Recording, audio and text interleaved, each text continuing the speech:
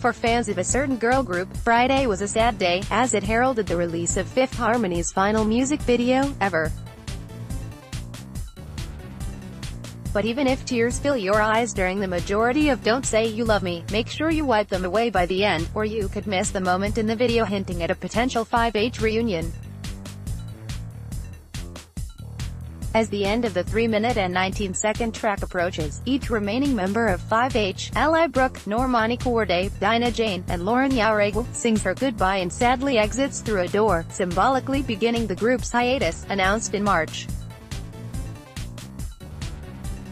But for all the sadness and symbolism inherent in exiting both this video and the age of Fifth Harmony, there's more optimistic symbolism waiting just around the corner.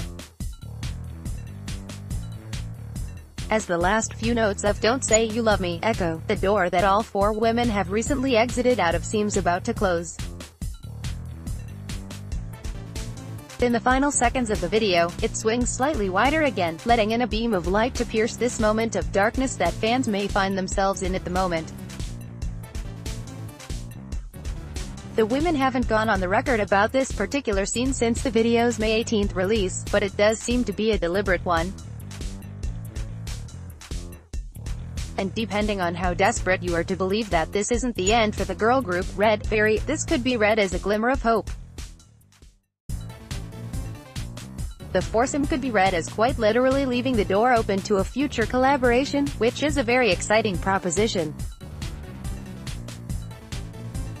Fifth Harmony VEVO on YouTube In fact, when you really start looking at it, the video is full of moments just as weighted as the open door imagery. For example, there are the outfits. Two of the women are dressed in white, as if for a wedding and two are dressed in black, as if for a funeral.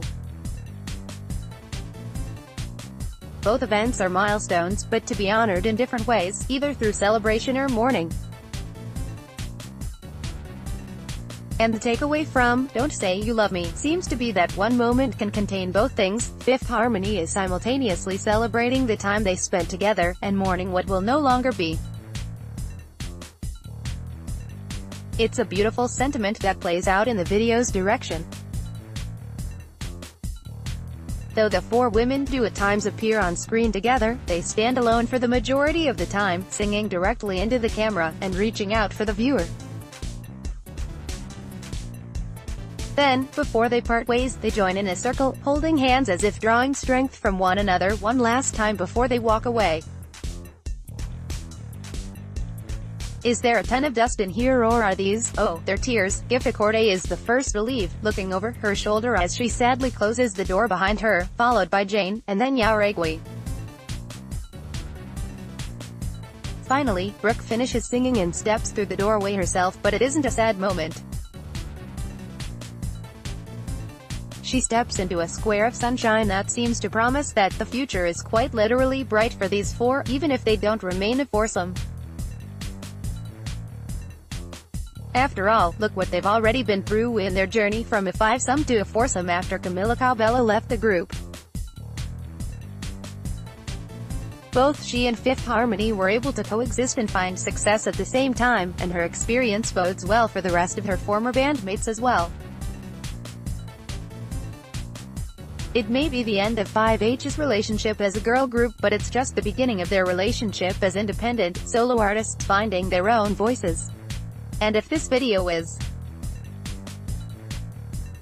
an indication, there's a lot of potential down the road for these ladies to find their way back together again, after they've done a little soul searching and figured out exactly what they want.